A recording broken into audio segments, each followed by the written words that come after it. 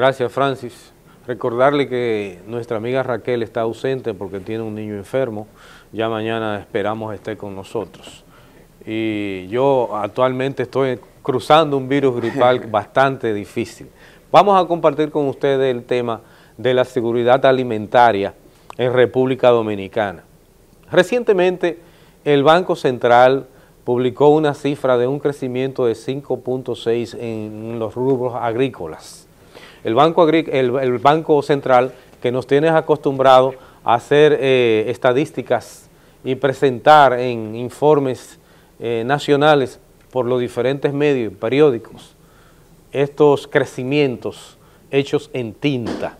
Pero también el ministro de Agricultura, Ángel Esteve, sale muy alegre a la ligera diciendo también que la agricultura creció 5.6%. Pero resulta que el mismo informe del Ministerio de Agricultura contradice lo que él dice. ¿Por qué?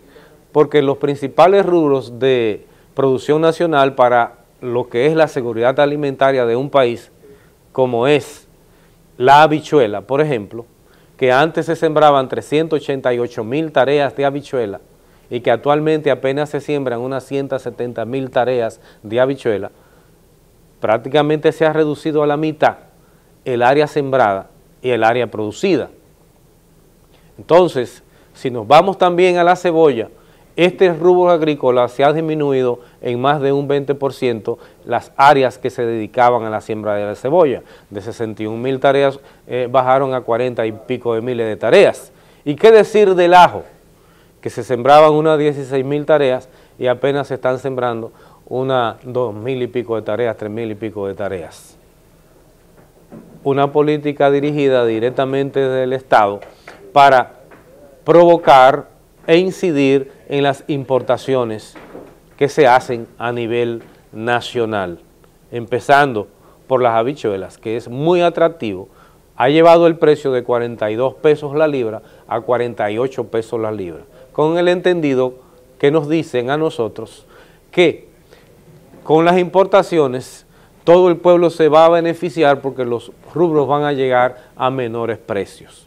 Graso error y una mentira hecha muy grande, aparentemente como si fuera una verdad, perjudicando al consumidor nacional. Lo mismo pasa con las áreas que estaban dedicadas a la yuca.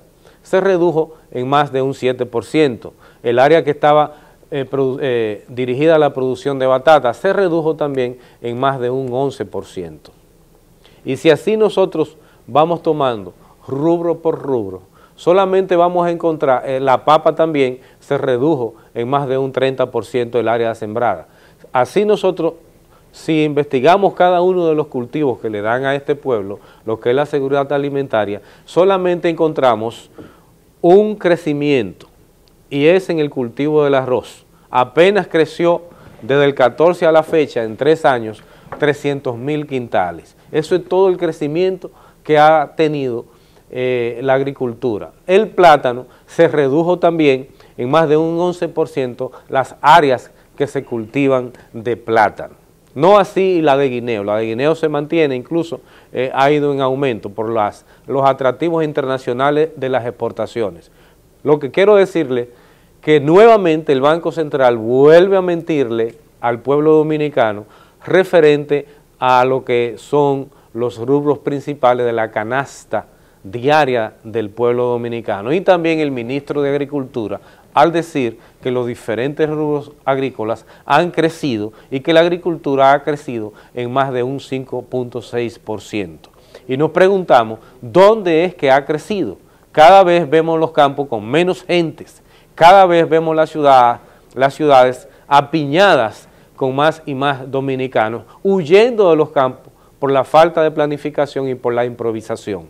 Gracias al plan de las visitas improvisadas de Danilo Medina, la agricultura dominicana se encuentra hoy en reducción y se encuentra hoy en un letargo, se encuentra hoy en una falta de planificación, se encuentra hoy en una falta de seguridad para darle a este pueblo la seguridad alimentaria que necesita.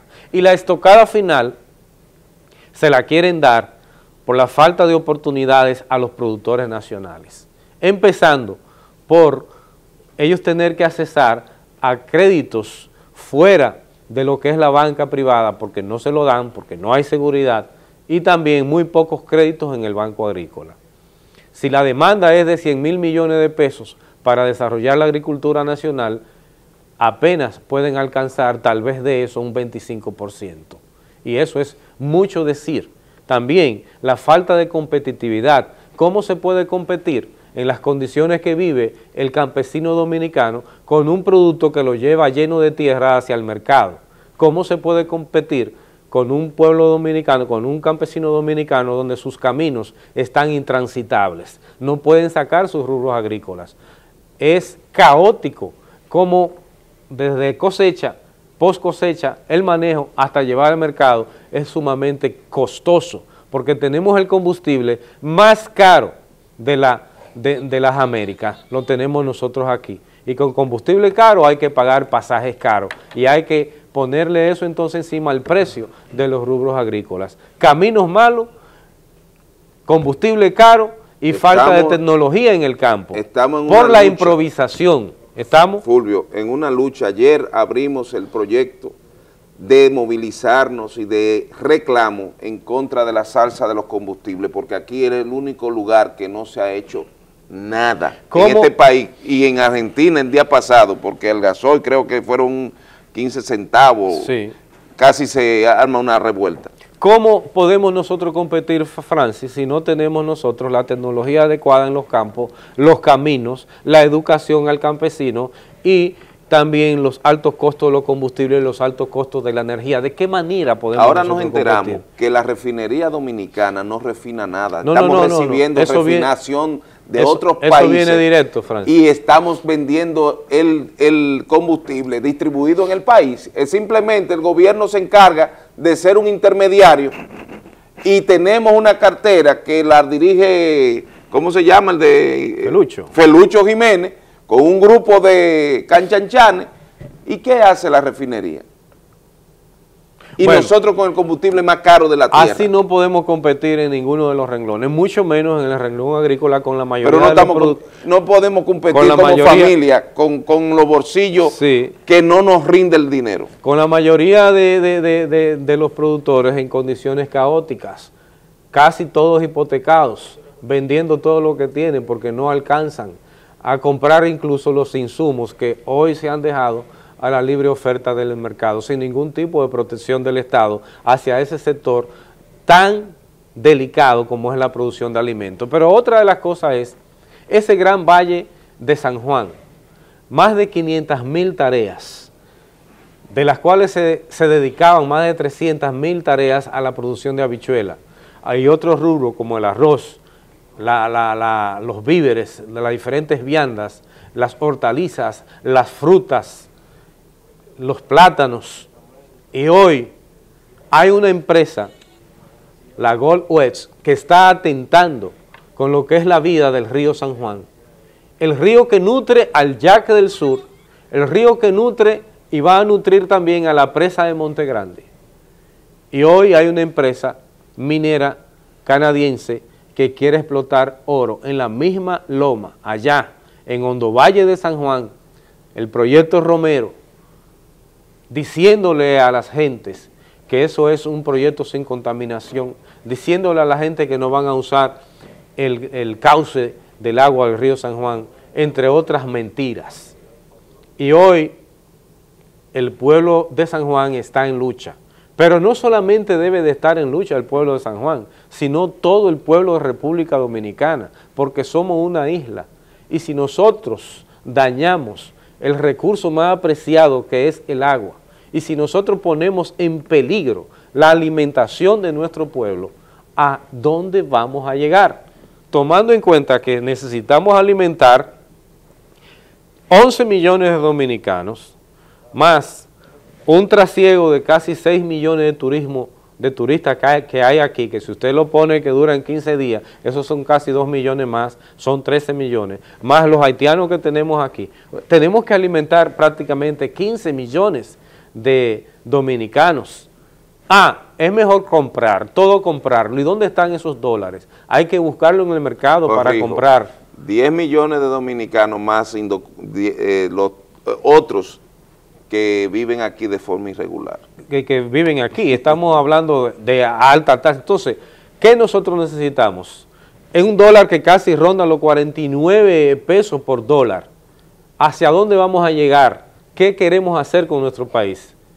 Antes de continuar mi comentario, vamos a escuchar este contacto. Muy buenos días. Muy buenos días. Buen día, Francis. Buen día. Mira, eh, Julio para ver, tú invitaste a tu amigo Francis a la inauguración de la cancha de los maestros. ¿De? La, la inauguración de la cancha de los maestros, ¿no? de las 10 de la mañana. Invítate a Francis para allá. No sé, te está cortando la Se- se- llamada. Se está cortando la llamada. Tiene mucho ruido. Bueno, A la cancha de los maestros. eh, que hoy se inaugura, Francis, la cancha de los maestros. Ah, ok, ya. Sí. Que si no lo hemos, no me invitaste. Muchísimas gracias, muchísimas gracias por la intervención. Eh, lo que se espera hacer en Valle de San Juan, en la Loma de San Juan, con esa empresa minera, es tratar de colapsar totalmente lo que es la producción agrícola nacional. Empezando allá, luego continuar en toda la cordillera central, donde están las madres de todas las aguas, ahí que se producen todas las aguas, incluso ahí se producen las aguas de los embalses que hay en Haití, que garantizan el agua para lo- eh, el área cultivable que hay en Haití. Y si, se siguen con el ganar-ganar, con esa ambición, van a continuar entonces con lo que es la muerte de este pueblo dominicano, poco a poco. La mayoría de nuestros ríos están totalmente contaminados, totalmente contaminados. Ya no podemos contar con ellos como agua potable. Y ahora también que pongan en peligro la irrigación de los principales eh, terrenos agrícolas del país. ¿A dónde van a llevar todos los campesinos de San Juan? ¿O acaso con esos 200 millones de dólares supuestamente de beneficio en 7 o 8 años se le va a dar a ellos trabajo digno, condiciones dignas, se le va a dar a ellos salud? ¿Acaso se le va a dar a este pueblo seguridad alimentaria? ¿Por qué no mejor invertir en el verdadero oro que tiene San Juan?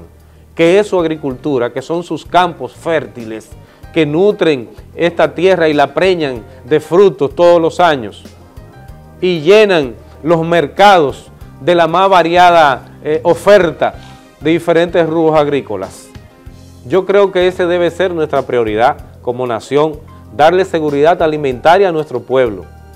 Y nuevamente decirle al ministro de Agricultura que no le siga mintiendo al pueblo, porque ya sabemos que lo hacen desde el Banco Central, pero a él no le luce como ministro de Agricultura. La situación agrícola del país es caótica y hay que enfrentarla con seriedad para poderle dar a este pueblo la seguridad alimentaria que necesita, no solamente basarse en importaciones de productos agrícolas, dañando la vida del campesino dominicano. Bueno, gracias Fulvio por tu comentario.